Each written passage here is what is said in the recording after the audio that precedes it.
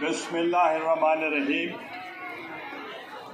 vice chancellor professor doctor Mansoor Akbar Kundi साहब, former vice chancellor mister Ashiq Durrani साहब, सलमान नईम साहब, doctor Imran शरीफ साहब doctor Shahzad Ali साहब,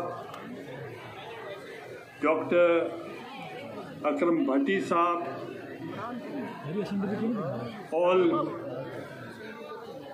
faculty members newly elected alumni media students अस्सलाम वालेकुम मैं सबसे पहले मैस कम्युनिकेशन डिपार्टमेंट का बेहद मशहूर हूँ कि उन्होंने अपनी सिल्वर जुबली के मौका पर मुझे यहाँ मदू किया है। और मैं भी आपके ही डिपार्टमेंट से हूँ। उस वक्त जर्नलिज्म कहते थे। I did my masters in journalism और जब as prime minister of Pakistan मैं टर्की गया तो उन्होंने प्रेसिडेंट जो टर्की थे, उन्होंने मुझे कहा कि आपके जद अमजद के बहुत खदमात थी खिलाफत मूवमेंट के लिए। और उन्होंने बेतहाशा कुर्बानियाँ दी, जेलों में गए और कलेक्शन करके हमारी खिलाफत मूवमेंट को कामयाब करने में गिलानी ख़ानदान का बहुत बड़ा रोल था। और उन्होंने मुझे वहाँ highest civil award, defence day पर, जहाँ मैं मेहमान खसूसी था, मुझे दिया गया। और Marmara university, the oldest university of Istanbul उन्होंने मुझे ऑनरेरी डिग्री पीएचडी की जर्नलिज्म की थी मैं आज की मुनासबत से, जब आज 25 साल, यानी सिल्वर जुबली हो रही है यहाँ आपकी इलमनाई की, जब 125 years foundation day government college Lahore का हुआ था तो मैं आप, मैं I am Ravian as well तो मैं रावियन होते हुए आज मैं आपके साथ शेयर करना चाहता हूँ, चूँकि मीडिया यहाँ मौजूद है। गवर्नमेंट कॉलेज लाहौर जो इंडिया का उस वक्त सबसे बेहतरीन इंस्टीट्यूशन था, और उसमें इंडिया ईस्ट पाकिस्तान और जो बांग्लादेश है और पाकिस्तान, उसमें से सिर्फ़ चार students they were elevated to the level of the prime minister एक थे अटल बहारी अटल बहारी वाजपेयी। एक थे मीर जफरुल्ला जमाली। एक थे मियाँ मोहम्मद नवाज़ शरीफ और एक मैं था। और पंजाब यूनिवर्सिटी कि अभी 100 को चंद साल पहले 125 साल उसका फाउंडर्स डे हुआ तो वहाँ दो तस्वीर थी। एक the founder of the nation Quaid Azam Muhammad Ali Jinnah साहब, और एक मेरा कि पूरी पंजाब यूनिवर्सिटी के 125 साल में एक ही प्राइम मिनिस्टर बना तो इसलिए मैं समझता हूँ, तालीम जो है वो एक सेइंग है कि यतीम वो नहीं जिसके माँ बाप नहीं। यतीम वो है जिसको इल्म नहीं, जिसमें एजुकेशन नहीं। तो इसलिए एजुकेशन जो है तालीम हो या सेहत that is very very close to my heart और मैंने, और मेरे वालिद मरहूम ने, उन्होंने बहुत खिदमत की तालीम के लिए। और इस यूनिवर्सिटी के लिए हमने बहुत से डिपार्टमेंट खोले और सबसे बड़ा जो कारनामा है, वो है यूसुफ रजा गिलानी फॉरेन स्कॉलरशिप जो 100 स्टूडेंट्स को पीएचडी के लिए मैंने वन बिलियन एलोकेट किया था, एक अरब रुपया। और उसमें से जो लोग पढ़कर आएँगे वो इस यूनिवर्सिटी में सर्व करेंगे। अभी दुरानी साहब ने कहा कि वो पहले पीएचडी थे। दुरानी साहब से मैं कहना चाहता हूँ, आप देखें कितने पीएचडी हैं यहाँ।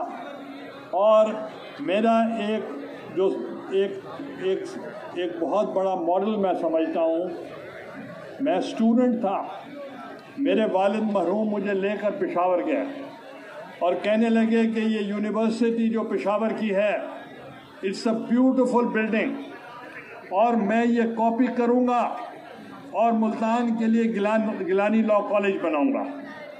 और उन्होंने बनाया और उस वक्त गिलानी लॉ कॉलेज की बिल्डिंग नहीं थी। वलैद सैन इस्लामिया डिग्री कॉलेज जो मेरे ताया के नाम पे थी, उस पे evening classes Gilani law college खुला। जब वक्त गुजरा तो उसका नाम गवर्नमेंट लॉ कॉलेज रख दिया गया। फिर उसके बाद जब मैं फिर आया तो मैंने फिर गिलानी लॉ कॉलेज रखवा दिया। जब मैं वापस गया तो वो यूनिवर्सिटी लॉ कॉलेज बन गया। जब मैं प्राइम मिनिस्टर बना तो मैंने बिल्डिंग नहीं थी। मैंने बिल्डिंग भी दी, गिलानी लॉ कॉलेज की, और साथ ही मैंने हॉस्टल भी बनवा दी।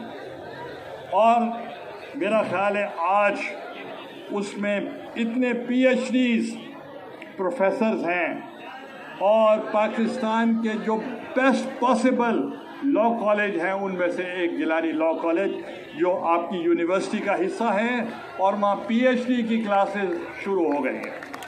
तो ये एक बहुत बड़ी अचीवमेंट है। तो मैं समझता हूँ कि इल्म का मकसद ये नहीं कि सिर्फ़ तालीम तक रह जाए। इल्म का मकसद ये भी है कि आप नॉलेज गेन करते हैं और फिर उस नॉलेज को यूज़ करते हैं मुल्क के लिए जमहूरीत के लिए कॉन्स्टिट्यूशन के लिए रूल ऑफ़ लॉ के लिए और ह्यूमन राइट्स के लिए और मीडिया राइट्स के लिए कॉन्स्टिट्यूशनल राइट्स के लिए इकोनॉमिक राइट्स के लिए और आपके फंडामेंटल राइट्स के लिए। और हमने अगर आए हैं तो जुल्फ़ार अली भुट्टो ने आइन पाकिस्तान दिया था। उस वक्त मशरकी पाकिस्तान अलग हो गया। और ये जो पाकिस्तान मौजूदा है, इसमें सिर्फ़ 128 वोट्स थे, चूँकि बाकी वोट्स चले गए थे बांग्लादेश में। और उस वक्त यूनी कैमरल सिस्टम था। और जब मिसाक जमहूरियत हुई चार्टर ऑफ़ डेमोक्रेसी हुआ। मैं बैन मोहतरमा बेनज़ीर भुट्टो शहीद साहबा और मियाँ मोहम्मद नवाज़ शरीफ के। तो उसके ऊपर हकूमत बनी। तो I was the only elected, unanimously elected prime minister in the history of Pakistan. और मैंने एक तारीख रकम की। एक तो मैंने जुडिशरी बहाल की थ्रू एग्जेक्टिव ऑर्डर और दूसरा मैंने जब यूनी कैमरल सिस्टम था एक सौ अट्ठाईस वोट जब मैं वज़ीर आज़म था उस वक्त चार वोट थे और वो बाई कैमरल सिस्टम था। सेनेट भी था नेशनल असेंबली भी थी, और आपके लिए मैं बताना चाहता हूँ चार मेम्बरों में से जब हमने आइन पाकिस्तान को मुकम्मल तौर पर बहाल किया according to the charter of democracy none opposed चार के चार सौ छितालीस लोगों ने वोट दिया।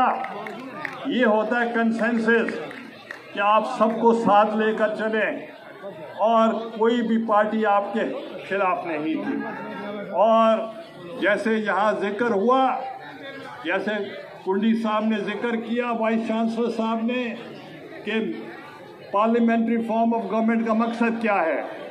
You are answerable to the people of Pakistan आप 22 करोड़ आवाम को जवाब दे हैं। और जो भी क्वेश्चन आर होता था, मुझे याद नहीं कि मैं उस क्वेश्चन आर में ना बैठा हूँ। मैं जाकर बैठता था।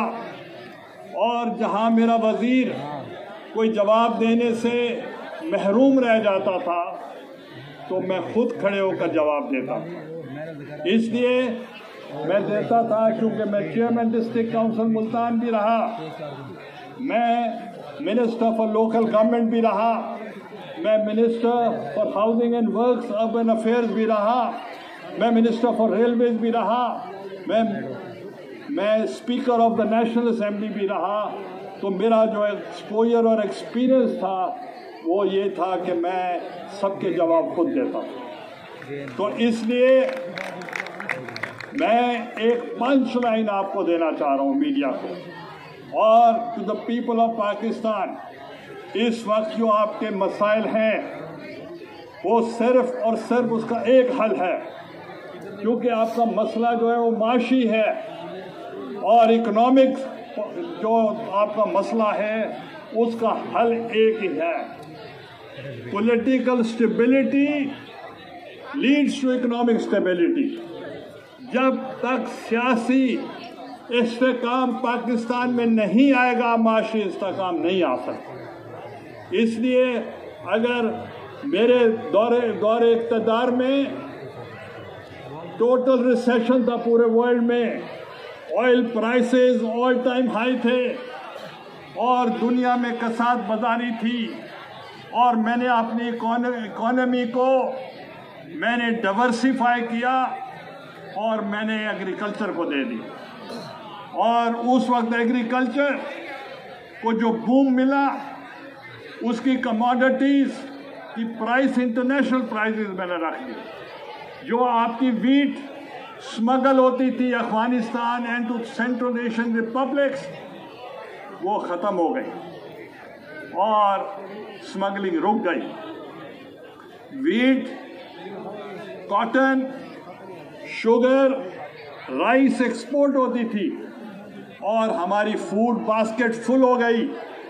और खुशहाली आ गई। अगर किसान खुशहाल होगा तो मुल्क भी खुशहाल होगा। तो इसलिए our food basket was full अब जो मसला जो है, वो है पार्लियामेंट की सुप्रेमेसी के लिए। हमने जेलें काटी, हमने सोखते बर्दाश्त की, हमारी लीडरशिप जो थी उनको फांसियाँ लगी और हमारी लीडरशिप को असैसिनेशन हुई। तो वो किसके लिए थी? वज़ीर अजम बनने के लिए नहीं थी। वो थी कि इस मुल्क में पार्लियामेंट की सुप्रेमेसी यानी अवाम की सुप्रेमेसी होनी चाहिए। और हमने सुप्रेमेसी के लिए अगर हमने जेलें काटी तो मेरे ऊपर आज आपके लिए हैरान कौन बात होगी। कुंडी साहब भी चाहते थे कि मैं कोई बात बताऊँ। वो ये था कि जब मैं स्पीकर कौमी असम्बली था तो मेरे जो सेक्रेटरी जनरल थे, वो जज थे। अब जब मैं उतरा तो there were two positions, chairman senate From different party and the speaker from different party. I was the speaker from People's Party. Chairman Senate was from another party. Audit paras आप पढ़े लिखे लोग सब बैठे हैं ऑडिट पैरास या department में settle होते हैं या audit paras public account committee में जाते हैं identical Audit paras Chairman Senate was sent to PAC, Public Accounts Committee, and the Speaker of the National Assembly was sent to the NAP. I was sent to the NAP for identical paras, and Chairman Senate was sent to PAC, the Public Accounts Committee. Um, there was another two laws. Jail में कि अगर कोई सांप मारे तो उसकी remission होती, माफ़ी।